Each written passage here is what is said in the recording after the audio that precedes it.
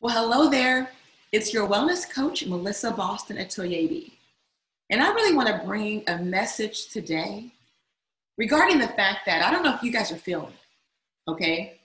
But we are under this epidemic of disease right now. I see so many people in their 40s and 50s dying prematurely. And I want you to think about that for a second because it really angers me. It angers me because here's what I know to be true I know that a lot of this is by design. There's no money in completely healthy people. And I'm going to prove that. See, we become lifetime consumers, right? Satisfying two things every day, multiple times a day. It's something that's on our mind, it's something we do over and over and over. And that's the fact that we are hungry and we are thirsty. So, our hunger and thirst is an industry that people are capitalizing on. And they're making not just food. It would be one thing just to make food that we know was good for us and healthy, but they're making food that's highly addictive, and this highly addictive food is destroying us. Let me just show you and prove a point. Do you know that sugar is actually seven times more addictive than cocaine?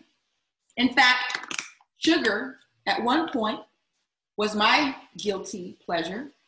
I still indulge, and it's something that I find myself every day working to resist. That's how addictive it is. And then when you think about high fructose corn syrup, think about that for a second. The very design of high fructose corn syrup is it means they've taken out all the nutrients, right? There's nothing in there but sugar, and it's processed from corn. And so not only is it genetically modified, but it's processed in a way that it leaves the person eating it or drinking it wanting more and more and more. I mean, it triggers your cravings. And so when you think about a lot of the foods that our kids are asking for, and if you look at the commercials that they witness when they're watching their Saturday cartoons, it's filled with garbage and junk. And then they get to the grocery store, they fall out because they want that junk. Do you know that it's predatory and it's illegal in places like France for those big companies to exploit our children. But here we are living in a society where now, just in the United States, if we have kids that are born after the after the year 2010, and if they're African American, one out of two of them will face diabetes in their lifetime. And I find that unacceptable. And so I want to talk about some of the challenges with what's happening right now. In fact, you know, I was given this as a gift. I went to an event. This was before the pandemic, and I got this sparkling grape juice, right, as a gift. Guess what one of the ingredients is? High fructose corn syrup. In fact, I was going to indulge in it one night, looked at the ingredients, and I'm like, they're sticking it in everything. I mean, look at your food, start reading your labels because you're going to find that sugar, corn syrups, they're in everything, okay? But I want to really get to what I wanted to discuss tonight. And that's regarding this epidemic of obesity and why we seem to have this inability to lose weight. Okay. First, I want to point something out. So, when I wrote the book Proverbs Diet, along with Dr. Bill Thurston, I wrote that book back in 2013. So, that was seven years ago. Okay. But because I found myself under a personal battle, literally battling for my life, okay, went through this bout of insomnia where I couldn't shut my brain down, could not sleep for literally nine days. I thought I was going to die. Literally, I remember planning out my will and just thinking about the fact that I might not be here much longer. And so I started really looking and reading the labels. And when I found, you know, really the, the real truth, when I exposed the truth, I was just flabbergasted, okay? And here's the other thing to know you know, again, there's no money for them in just a totally healthy nation. And so they capitalize on us by not allowing us to grow our own fruits and vegetables and raise our own animals, right? We're dependent on the food supply chain, okay? But we're also then all of a sudden turned over to the healthcare system. And so you have a food supply chain that represents $2 trillion. Then you have this whole healthcare, or what I like to call the sick care, which is 2.5 trillion. So there's 4.5 trillion dollars that we're spending every year just here in the United States on things that aren't really advancing our life's purpose, right? Now we know that it's important for us to have access to healthcare, and there's times when medication is life-saving. But we do know that there's certain things that are happening that are downright predatory. And so we want to jump into that tonight, okay? Because it upsets me because I can think about people that I know in their 40s and 50s that aren't here today and they died from a preventable disease. In fact, some of them just in the last 30 days. In fact, 95% of us will die prematurely from a preventable disease. See, we all will die at some point. But wouldn't it be nice if we can die just like the elephant? You just go away, you lay down, you fall asleep, and you die peacefully at a good old ripe age when you're plus 100. Wouldn't that be amazing? But they just haven't designed it because it's kind of like this. They want us to live long enough, right, to have whatever things they need us to consume in. But then after we get to a certain age, it's almost as if they want to dispose of us, right? They're not even really celebrating and honoring the, our seniors and our elders the way other countries do. And so we've got to expose that. And so when I wrote the book, Proverbs Diet, I want to share with you just something in that book. So this was 2013 because the, the message today about this whole issue with losing weight, I actually I actually addressed it way back then. Okay? And so let's look at this. And so if you have the book, it's on page three. But I'm going to share with you something. In this book, I looked out to the future. So I looked out to the year 2030. And when I looked out to the year 2030, it talked about the fact that during the same time, young adults in their 20s are on a waiting lists for liver transplants due to fatty liver disease. And that's when the body accumulates too much fat. See, it really only needs about 5% fat in the liver. Beyond that, it's excess. And it's called fatty liver disease. Some people take it all the way up to 70%. At that point, you have to get a transfer, a liver transfer, right? A, a transplant, okay? And so when I talked about that then, this whole epidemic of fatty liver disease and how it was impacting so many of us, you'll, you have no idea what's happening right now. And the reason why you can't take that weight off, the reason why our kids are under this attack of diabetes and, and this epidemic of obesity. I mean, it's really something that's so alarming. We need to wake the world up. We need to share this video. We need to talk to everyone we know and let them know that it's by design. And if we don't do something to stop it, it's going to continue to take over. Okay. In fact, I also talked about the fact that in this period, almost half of the adult population is diabetic. An unprecedented number of children under the age of 10 are diagnosed with diabetes, reproductive cancers, and heart disease. Kidney dialysis centers have become more popular than McDonald's. And here's why I'm now disgusted about what's going on. See, we can look into the future and look at the reality based on where we're at right now, but we could also use that to say that's not where we want to end up. Let's change it. And so the reason why I'm so disgusted right now is because I picked up some articles, right? And really just trying to do more research to see, well, where are we at right now? This is 2020. But do you know that a lot of the things that I wrote about then are already happening right here, right now. And that's because no one is holding accountable the food supply system. And a lot of these chemicals, they're sneaking into our food that's breaking our bodies down. And so what I've done is I've actually prepared a quick little training because I really want to make sure you get the message. I want to drive it home because guess what the good news is? The good news is we don't have to suffer. The good news is the choice is ours we can actually make a choice right now and change that downward trajectory. Okay, we can make it a new future for 2030 and beyond. And so let me go ahead and share with you real quickly just a message that I was compelled to write about. In fact, as I share this message with each and every one of you, you know, I want to first of all welcome anyone who might be brand new and watching this for the very first time you know, as a wellness coach, as a wellness activist, right? As a wellness advocate as well. You know, I really want to expose secrets to living a longer, healthier, and happier life. And so I'm not only a wellness coach, I'm the author of the Proverbs Diet, the book I have right here. And also the CEO of a company called WaKanna for Life. And so today we want to really dive into this whole aspect of fatty liver disease and how it's wrecking havoc on us, right? We want to talk about this health crisis, how we can detox our livers and what foods that I recommend and what we can do about it. Because here's the good news we can talk about the problem, but with every problem, there's a solution if we're willing to open our minds. And so if you're catching this live, I want you to go ahead and drop me a one. I always like to see who's on our first run, okay? If you're watching this on the replay, please go ahead right now and drop me a number two. Great. Okay, so let's look at the problem.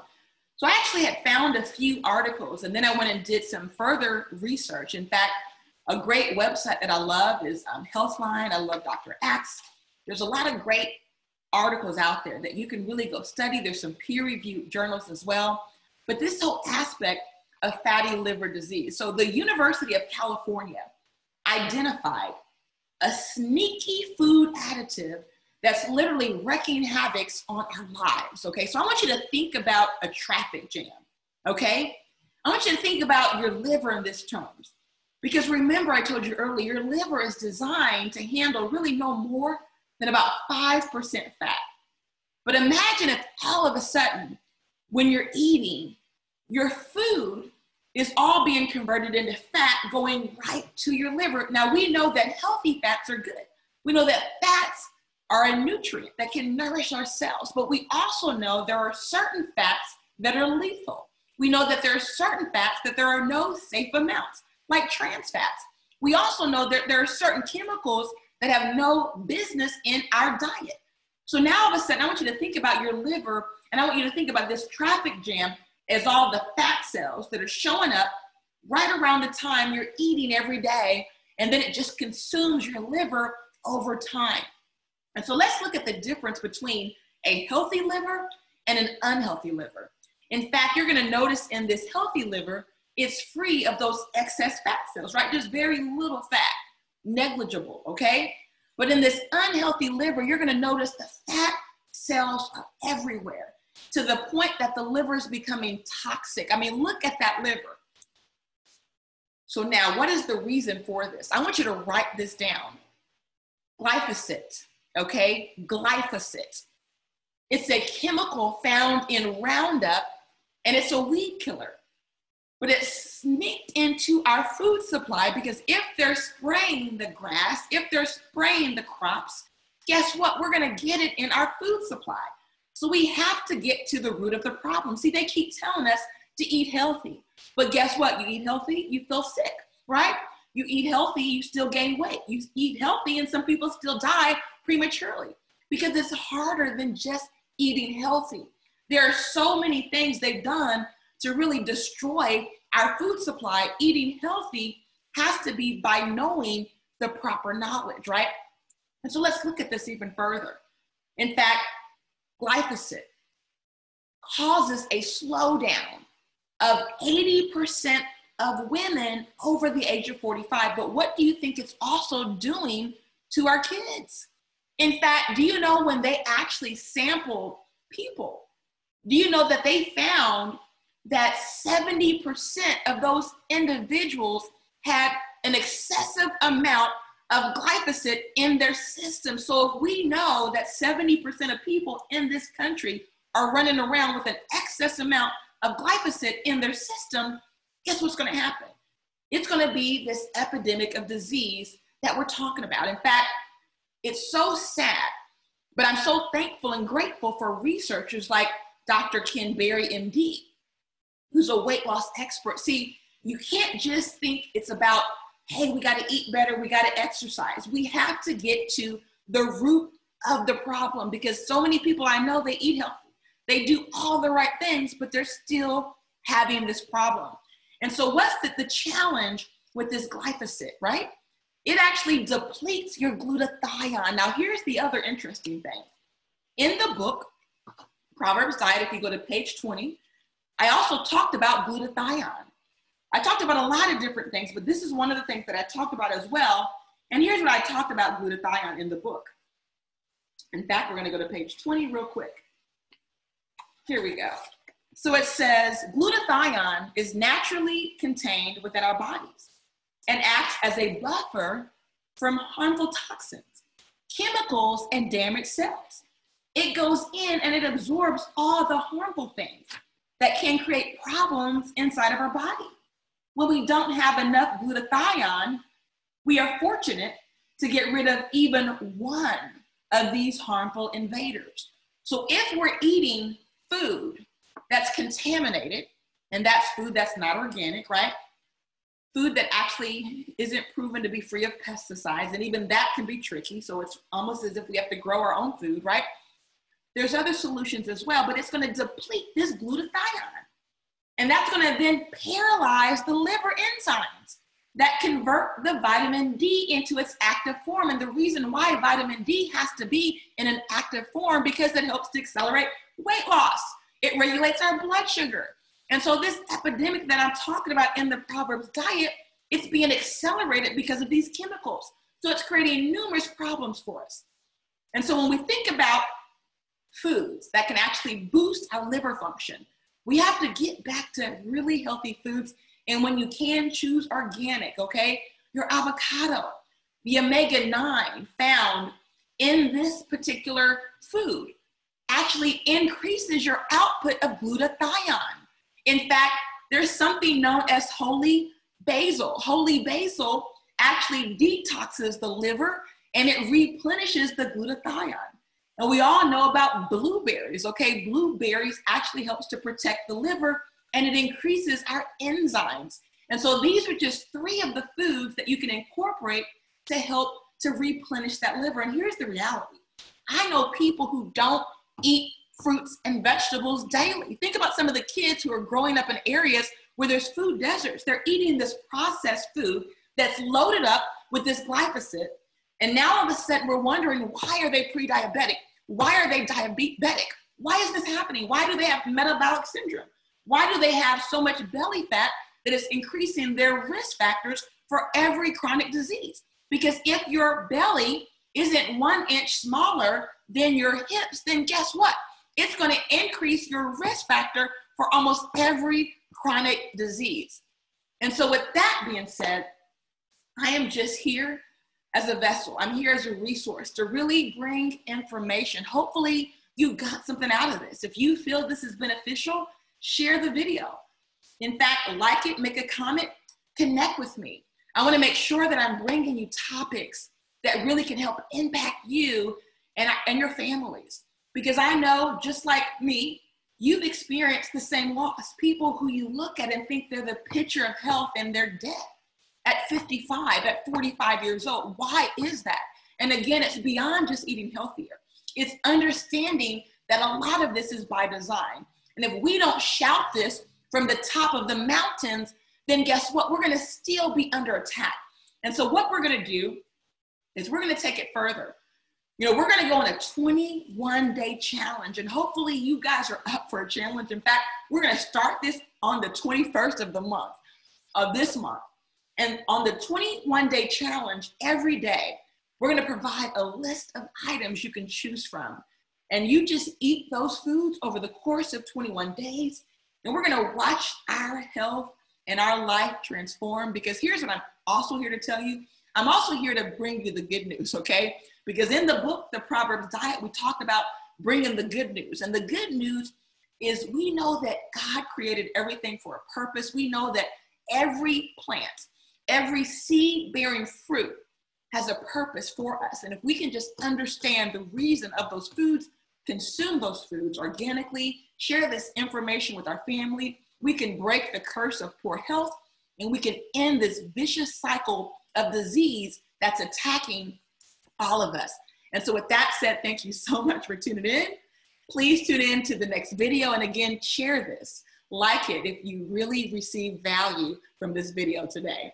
So, thank you.